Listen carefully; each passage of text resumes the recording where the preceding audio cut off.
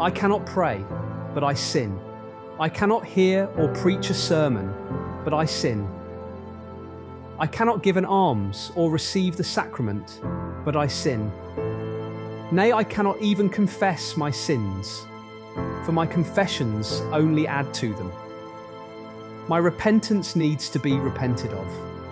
My tears need washing. And even the washing of my tears must be washed again with the blood of my Redeemer. I am ashamed of myself to think how far short I come in every duty and how full I am of imperfections in everything I do. Lord, be merciful to me, a sinner. Pardon my failings, accept my endeavours, and strengthen me by thy grace to serve thee better. My soul cleaves to the dust. Quicken thou me according to thy word.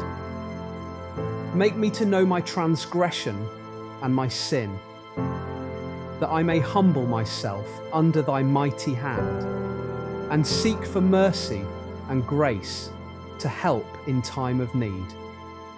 Bishop William Beveridge,